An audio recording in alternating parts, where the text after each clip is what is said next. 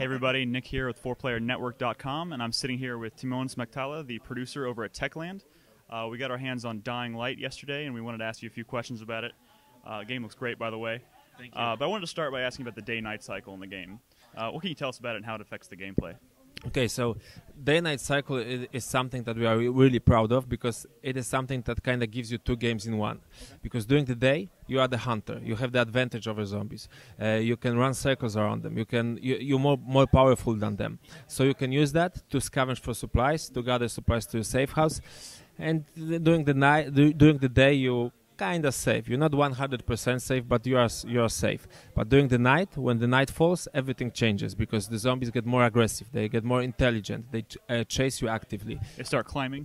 Yeah, and they start climbing just as good as you.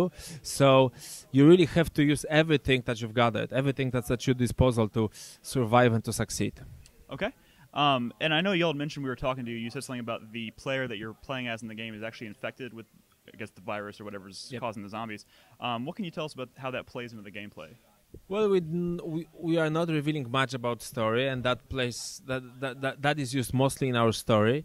Um, but one of the things that you can do because you are infected, you can kind of sense the zombies around you. So during the night, you have this night sense that when you press a button, you you you you see what surrounds you. You see that there are zombies around you. You see where they are, and you see that if there is this special, um, the most aggressive, that like the ultimate zombie form or ultimate uh, night zombie form called volatile then you can see him perfectly and you know what to avoid because that's a guy that you really wouldn't like to meet in a dark alley Okay. Uh, that actually leads into another question I was going to ask about the uh, the variety of the zombies. Like, how many zombies can we expect to find in this game? And Uh, we're not giving out an exact number. It's kind of too early to do so, but uh, you can rest assured that there's like a dozen enemy types, and each of those enemy types has many variants. So we, we're talking about a few dozen types of zombies, and these zombies evolve during the night. So nearly every zombie has the night form and a, and a, uh, the day form and the night form. okay, And so it there are essentially also- doubles the. Yes, exactly. And there are also zombies that appear only during the night, and volatile is just one of these zombies. Okay. Um, so there are other groups of survivors in the game, correct? Yes. Um, does that play into the gameplay in any way, or can you recruit any of these other survivors into your, Well, your camp? Okay, you're not able to recruit them, but there are other factions. None of these factions are, are friendly. You interact with these factions uh, because of the story and because of your decisions. So yeah, that, that, that that's something that's in the background really, but it plays a role mostly in the story. Okay. Um, and there is a cra- the crafting system similar to Dead Island, I suppose. Is well, back. I wouldn't say it's really that similar. It, Okay. it, it is similar because it is crafting, uh, but uh, it works differently. Uh, it doesn't require you to use workbenches. So you, if you have a th- that special skill, you can do it anywhere. Uh, and I think it's way more realistic. So uh, we kind of tr- uh, with the whole game, we try that kind of try to go with that realistic vibe. So everything that's in our game is like a realistic answer to a question: What would you do in a scenario like this? Okay, that's cool. I didn't realize you're not tied to a workbench, so that gives you a lot more freedom to. Yes, exactly. Okay, that's awesome. Um, and the traps. So I got to play around a little bit with the traps, and they work really cool. But uh, can you kind of explain how the system works and how you can use that to your advantage in the gameplay? Okay, so because the game starts like three months after the outbreak, uh, the, the, like, the survivors are kind of established there. They, they they found those those ways to uh, fight with zombies to to help them escape zombies. So one of those ways is the traps, the, the trap system. Uh, they put these traps around the city in in in lots of locations uh, that they can use when they are being chased, chased, especially during the night. Um, so when you start the game, um, you kind of help to set up those traps, and then you can use them. So, for example, there's this car alarm trap. Uh, it's a very cool trap. I think it's one my favorite. That when you set it and when you activate it, the car alarm starts. So it, the noise draws the zombies to a car, and then the car explodes. So it's like a sea of limbs lying li- laying around the car. So Nice. that's great. That's cool. And we have like a like like I'd say a few dozen types of these traps in our game. Okay, that was actually my next question about how many traps you can expect. Um, so yeah, the, that was really fun. I got to play with the uh, there's like an electrified fence on the ground, which is, kind of, which is exactly. cool. Thank you. Um, so there's also these supply drops, I guess. So Yes. they drop supply drops in the city. How does that work? Are they dynamic or? Yeah, they're dynamic. The, the, uh, uh, story-wise, the city is closed in quarantine, so the, the the world outside, the military outside, kind of support the survivors that are trapped there, and they support the survivors by dropping airdrops uh, throughout the city, um, uh, airdrops that contain medicine, food, etc. And this is dynamic. So the game generates those airdrops for you. Uh, the the game decided decides where that airdrop should fall, uh, and then you have a chance to go and grab it. But if you if you quick about it, you can be first that reaches it, so you get everything. But if you if you if you uh, for example meet some zombies and you have to fight them, then when you reach it after a couple of a couple of minutes, then there might be survivors there, other survivors, and they might be willing to share the, share these supplies with you or not. So you have to fight So that was, that was a question I didn't want to ask. So so some survivors might be actually willing to share that with you, but you might have to actually fight them for yeah, it. yeah, exactly. Okay. That's and that's kind of what that you were dynamic. displaying Yeah. in that first trailer, yeah, that Yeah. CG trailer. Yes. Okay, that's pretty cool. Um, and so checkpoint, how's the checkpointing in the game work?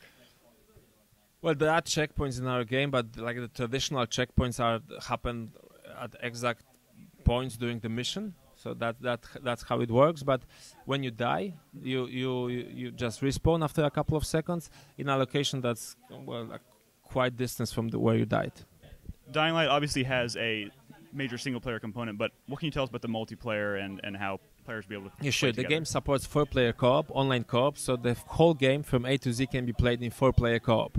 Um, uh, it's drop in, drop out, so you can start the game solo. Then your friend drops in, he helps you for a couple of hours, then he drops out, and then you continue the game solo. But what's important is that during when you play in co-op, you don't have to stick together. You can go separ- separate directions. You can do different missions. So I- I think it's really one of the most unique things about our co-op play. And also, a couple of days ago, we've announced a new mode which is called Be the Zombie. So this mode allows you to play as a zombie and invite other people's games. So you get for a for a zombie character, you get this extra special character progression system, extra zombie skills. So while playing this mode, you upgrade that zombie character. You you you can become that ultimate zombie. So it really is kick-ass, and you should try it. So you said you progressively you upgrade that character that that one zombie throughout the game, so Yep. And then you can invade other people's Yes, game. Okay, that's sure. that's actually pretty exciting. That's yeah, cool. it is. Uh, looking forward to trying that. Now, um, uh, one other question I had that I, I forgot to mention before, as far as because you said you can go out and do other Yep. missions when you're playing co-op, so that implies the world's pretty large. Uh, what can you tell us about the size of the world in general? we don't we, we don't we don't like to give an exact number because it would be easy to say that it in terms of map size is like three times bigger or, or four, four times bigger than the island. But when you add that vertic- ver- verticality factor to it Mhm. you have to multiply that number. So it really is hard to say how how, how much bigger it is. Yeah, that's true, and and the uh, the verticality really comes into play, especially because the uh, the free running mechanic Yes, that, that y'all implement in the game works really well. Just wanted to thank say. you Um, a lot of games try that, and you know maybe some of them do it better than others, but I found it to be really. Uh, really well, I think what we, what we have here hasn't been done before because uh, it, it it really is a system that supports freedom. Uh, you, you're not constricted to any corridors, to any. We don't highlight any like the things that you can grab. You can grab everything if it is within your reach. If Mhm. if, if it looks like you could grab it in real life and climb on top of it, then you can do it in our game. which that that was really great in those moments of like sheer panic, especially Yes, night when, exactly. when I'm running. And I was I was actually getting to the point where I was like I didn't know where I was going to go, so I had to start thinking on my feet. And I, I, did, I started just trying to grab for things that I didn't know how, you know would be possible in the game, and they really- worked uh, every time. So Great, really great you mentioned that because that was exactly the goal that we were we were aiming for. Okay, so Techland is responsible for developing uh, Dead Island, which is another game just you know similar in concept as far as being an open world zombie game. And I was just curious, is there any connection there or any communication between the development teams? Okay. As, like, did ideas you know born in Dead Island maybe evolve and become Mhm. Okay, so uh, I think people don't know that Techland is quite a huge organization. We have Mhm. a few teams working on different franchises, uh, but Dying Light is a work of the core team from Dead Island. Mhm. So the core team of Dead Island, after we finished supporting Dead Island, which was early 2000, early 2012, we started working on this game. okay. Uh, and of course, the team grew since the release of Dead Island, like twofold or threefold. So now it's 150 people Oh, wow. working on that game. Wow. Um, okay, and projected release date and platforms. I know you have you have a whole bunch of platforms coming Yeah, out. sure. Uh, Dying Light comes out next year, so it's 2014. It's PC, PS3, PS4, Xbox 360, and Xbox One. Awesome. Uh, we're looking forward to playing it. We're going to be covering on the site quite a bit when it comes out. So uh, thank you for your time. Appreciate Thanks. the uh, taking the time to answer the questions. Talk to you. Thank you. All right. Uh, stay tuned for more from Four Player Network at PAX. I almost said PAX East. PAX Prime 2013.